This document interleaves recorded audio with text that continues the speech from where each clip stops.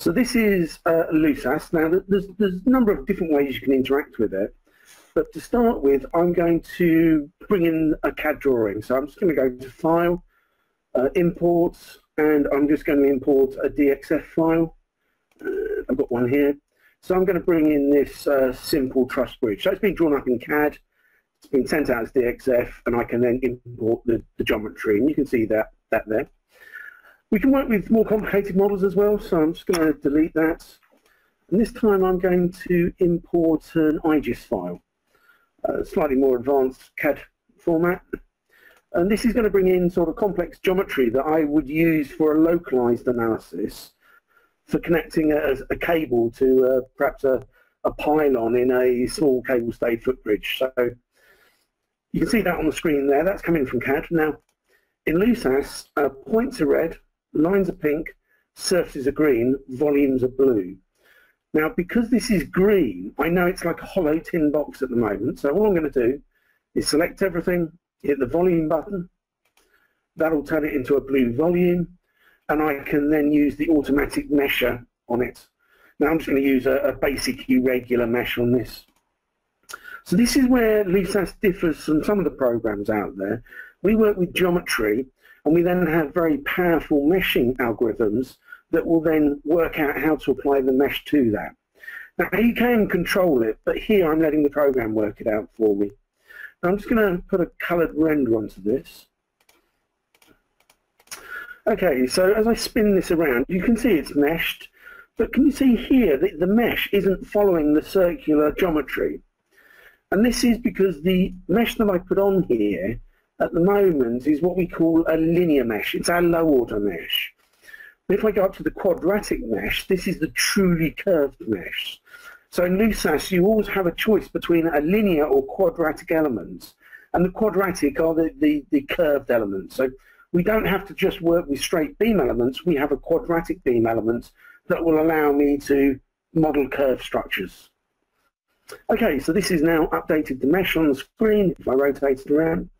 So what I would have to do to that now is apply some supports, a material, some loading, and I can then start looking at the stresses on the outside, or I could slice it up and look at what's happening to the stresses in, on the inside. So we've got a very powerful geometry engine, but I'm going to go back now and look at a, a much simpler example. This is an example from our examples manual. We have a number of detailed worked examples.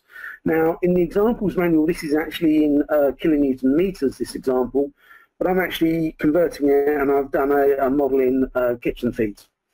Now, again, just to save a bit of time, I've already created the lines. So here we've just got a series of lines that are going to be used to represent this geometry on the screen here. So it's a very simple line model that we're working with. And the tree view here, the attributes tree view is a list of the engineering properties. Now, I've already got a few in here. So if I take these two lines where the columns are and drag this rectangular section on, you'll see that they then appear on the screen. If I select this part of the model, this part of the model, if I drag on the pier solid, that's the sort of diaphragm section for the box that I'm going to connect in. And I've also got a diaphragm section at each end that I'm going to use, which is there. Now, all of these sections have been calculated using the internal section calculators inside LUSAS. So there's the one for the rectangular columns that I'm using.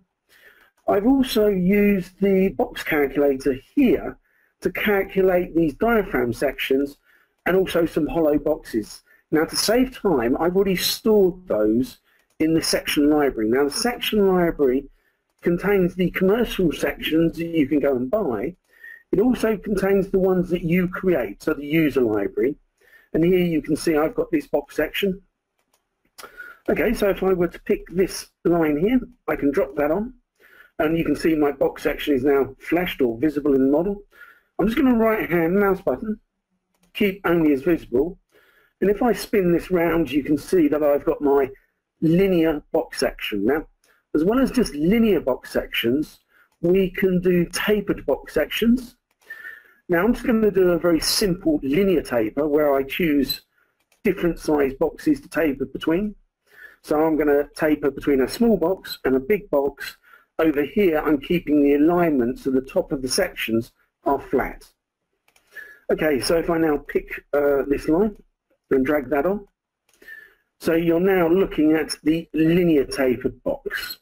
Now in this case we're just uh, tapering the overall height of the box, but it could be that I want to taper locally the thickness of the bottom flange or the walls.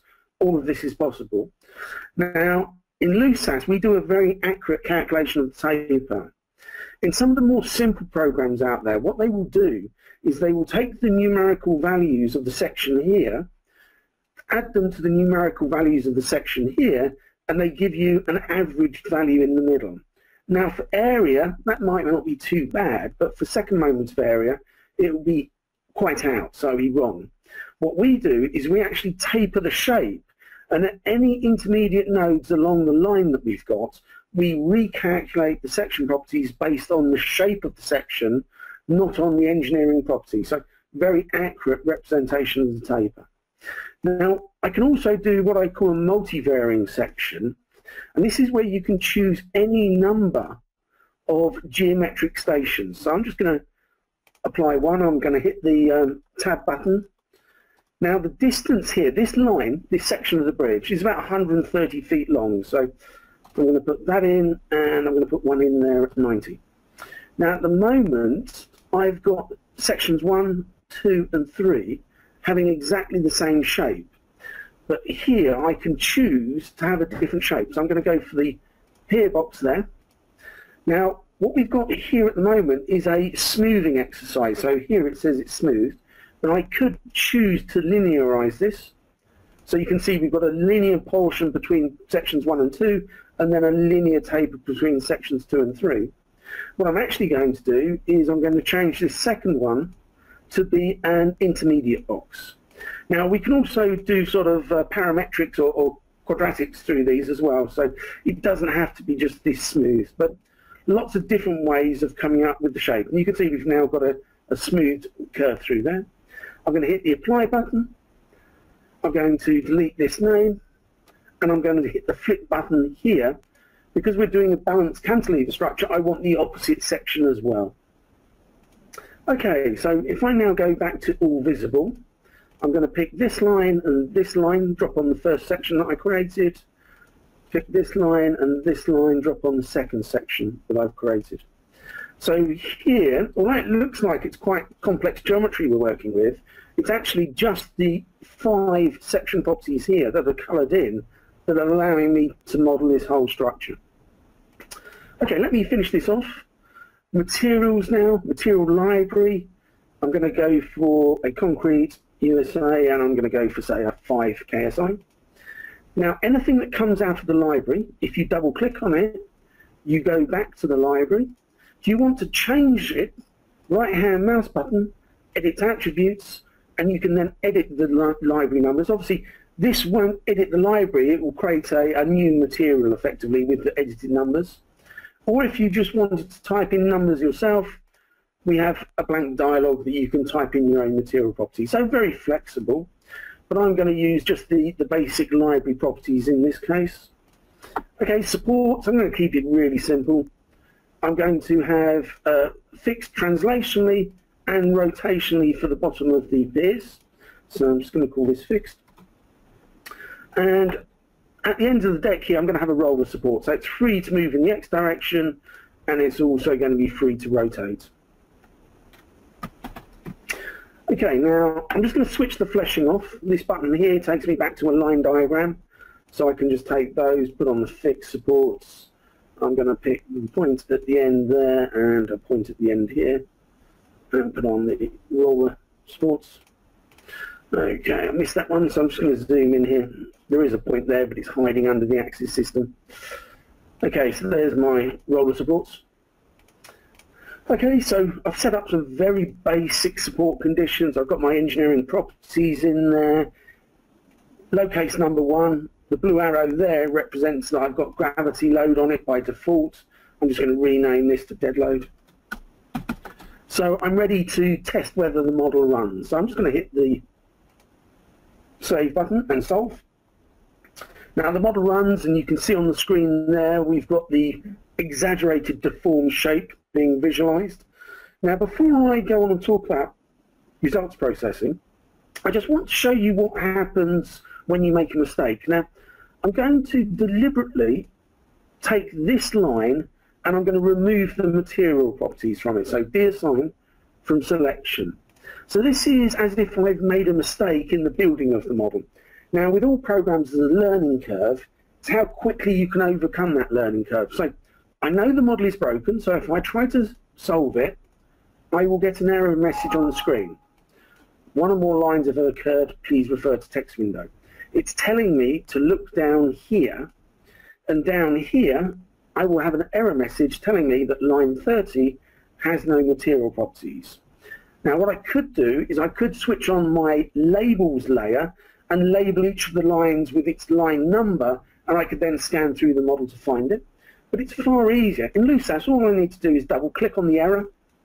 I get this identify object dialog, and I personally use the top two options and the bottom option. So when I hit apply, it selects the line, and you should see a box zoom in to show you where the problem is. So very easy to identify where the problem is, no materials. So I drag back on my materials and the model will now run. So all you have to do to debug a model in LUSAS is basically double click on the text window error message and it will show you where the problem is in the model. If you read the error message, it tells you what the error is. I'm just going to go straight on to talk about the, the results processing on this, effectively. Now I'm going to switch off my uh, fleshing. I'm going to go to my layers. I'm going to switch off my deform mesh, bring back the mesh. And I'm going to look at my diagram layer. So if I switch this on, Obviously what we're looking at here is a bending moment diagram on the whole structure. Now obviously I could look at shear force diagrams, axial force diagrams. So that's one way of looking at the results. I'm going to switch that off, switch the fleshing back on, because I'm going to look at contours of stress now. Now because we know the shape of the objects, I can take my beam axial and bending moments and turn them into stresses on the model itself. Now, in here, the red area I know is going to crack due to tensile stresses in terms of I would need to use post-tensioning on this. So it's a very good way of looking at, say, top fiber, bottom fiber stresses on concrete models so you can understand what the sort of stress limits are approaching to. Now, in reality, this big box structure like this would be post-tensioned. As Terry's already said, We've got a full range of post-tensioning tools and some of the examples cover those. I'm just not going to have time to go through all the post-tensioning on this model. The other ways we can get results out, if I go to utilities, I can go to a print result wizard. Now this is essentially taking my graphical results and giving to them to me in a spreadsheet type output. So if I hit finish here, now here you can see the nodes. I've got the FX, FY, FZ, MX, MY, MZ. Now if I had multiple load cases in my model, I would have a separate worksheet for each load case. In here, if I want to find out what the biggest numbers are, I can just right hand mouse button sort ascending and it will show me the biggest negative at the top and if the bottom will be the biggest positive. Now, it's not quite a spreadsheet, but it acts very similar to a spreadsheet. But if you want to take this out into a spreadsheet, all I need to do is save as Excel.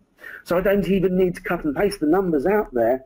They will be saved straight to the Excel spreadsheet for further results processing if you want. So we have very good graphical interfaces in the software, very good tabular. We also have a full reporting system inside the, the model. Now in here, if I right hand bounce button new reports, I'm just going to call this bridge. Uh, the units could be changed, so if you wanted to do a model in kips and feet, but you needed to send it to, say, Canada in kilonewton meters, you could do that easily. I'm going to leave it the same. Now this is a blank cover to a book. If I right-hand mouse button, I'm going to add chapters. Now I personally are going to put in all the geometry properties to start with. So these are all the engineering properties that I've put in to create this model. Now if I want to view the report, I can say view report. Now, it loads up a reporting package in the background. It takes a few seconds because it is a, a rather large program that's loading up. But it'll appear on the screen and I can then look at my reports. So here, table of contents, those are my point coordinates, my line connectivities, and here are my geometric sections with a, a summary of what they are, and down here are the values that I'm using. And if I just scroll through this, you'll see that all the geometry in there is the materials supports, and it's telling me that I've got gravity switched on in my load case one. Now, you can get all the tabular results out in this, which I, am going to add in a minute. So I'm just going to close the report down. So I'm going to add other things to this. So I'm going to add chapter. I'm going to look at basic result cases. So I'm just going to look at force moment. And in here, rather than look at all the components, I'm just going to look at Fy and My. So these two components are the shear and the bending moment that I want. And I'm just going to say, OK, results. So this will have added in a table of numbers, very similar to the print results wizard I just showed you. But we can also add in graphs and images as well. If I go to Window and I'm going to save a view, this will basically capture the image on the screen so I can use that in my report. So if I go back to my report now and view report, uh, no, I want to add chapter. So I want to add that save view. Now I can view the report. Now what this will have done is it will have added in the table of numbers. It will also added in, if I scroll to the end, the image here basically. If I go back, you'll see the table of numbers is there. Now, the key thing here, this report is dynamic. So if I change my model, I'm going to take these two bottoms of my piers here and I'm going to move them in the Z direction by say, let's guess, say 20 feet. Okay, now the reason the results have disappeared from here is because obviously I need to resolve. As soon as I resolve, those results will reappear. Now if I go back into my report now and just view the reports, everything will have updated. I don't need to recapture the images or any graphs everything will be based on the new model. And you can clearly see this is now showing me the short legs. So this is a great efficiency tool because I can build reports and if someone then finds a problem with my model, I just need to put that problem right. All I need to then do is reprint the report. And this report can go out into PDF, HTML, Word, Excel, whatever format you want. Usually it's the PDF format that you'll be sending out. But it basically means if you do need to make changes to the model, if you've got the report already set up, you just print it out again. You can also use the report as a template for a next job. So if you're doing something like a box culvert and you've then got another box culvert to look at, you can export the report from one model and import it as the starting point in the second model. So again, great efficiency there.